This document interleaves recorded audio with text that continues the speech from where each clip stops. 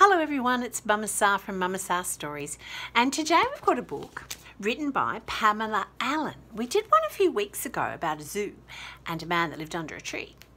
And this one's called Mr. McGee and the Perfect Nest. And the book's quite old, it was lent to me, so it's kind of falling apart. So if it falls apart while I'm reading, you just hang on while I pick up the pages. and there, oh, did I show you the picture? Oh, there it is. Mr. McGee and the Perfect Nest by Pamela Allen.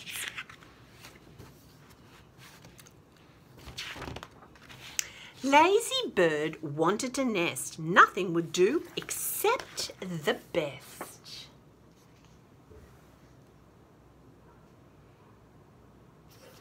Looks like a turkey, doesn't it? Plucked one. Is this the perfect nest, she said? Said she, the nest that is right, just right for me? What do you think? Do you think that's the perfect nest for the bird? I don't think so. Looks like a teapot to me. Something I'd like to make a cup of tea in, not have a bird's in. No! This nest is too small. It won't do at all. This isn't the nest that is just right for me said the lazy bird. Doesn't want to build its own nest, wants to just find one. Mm. Is this the perfect nest, she said? The nest that is right, just right for me? Looks like a dirty old garbage bin to me. Doesn't look like a very nice place to sleep at all. Would you like to sleep in a dirty old garbage bin? No? Okay. No! screamed the lazy bird. This nest is too big, just right for a pig. This isn't the nest that is just right for me.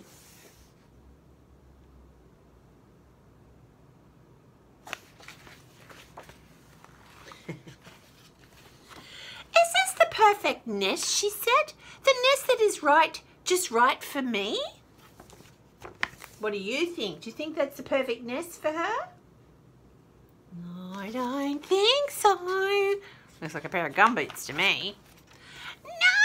No! This nest is too tall. See? It's going to fall. This isn't the nest that is just right for me.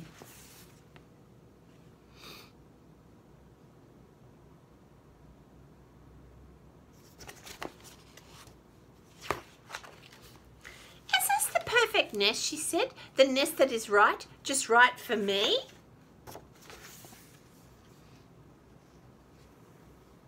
What's she doing? She's looking at Mr. Gee and his umbrella. Oh my goodness, I hope she doesn't think that umbrella's going to be her nest. Nice place to go when it's raining, though. Huss, she said as she chased him. Hiss.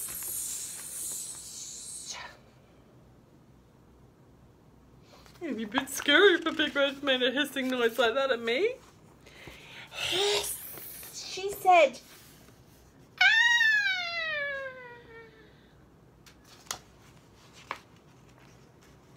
Oh, oh, ah, said Mr. Said the lazy bird as it tried to turn his umbrella into her nest.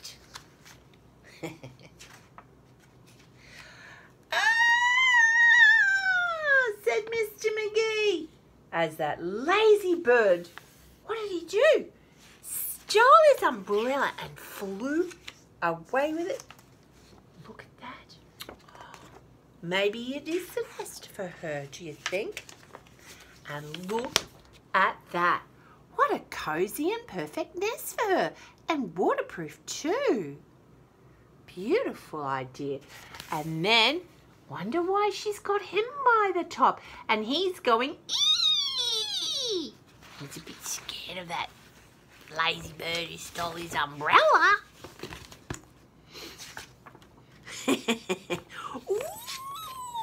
Ooh, said Mr. McGee as the bird picked him up and he flew through the sky. Oh, said Mr. McGee. He makes lots of noises, does Mr. McGee? yes, said the lazy bird. This is the perfect nest, she cried. The nest that is right, just right for me. And there it is. What do you think about that?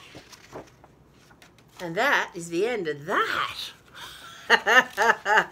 That's a pushy bird, wasn't it? Lazy bird wants a nest. Nothing would do except the best. But what is the best? Well, apparently a lovely blue umbrella, but she wanted it to be warm and cozy, so she put Mr. McGee in there as well for a mattress. My goodness, I hope he escaped. And I hope you're ready to snuggle down and think about lazy birds. Maybe they could come and sleep in your bed with you. What do you think? Hmm, maybe. Good night, everyone. Love from Mama Sa. Hope you've cleaned your teeth.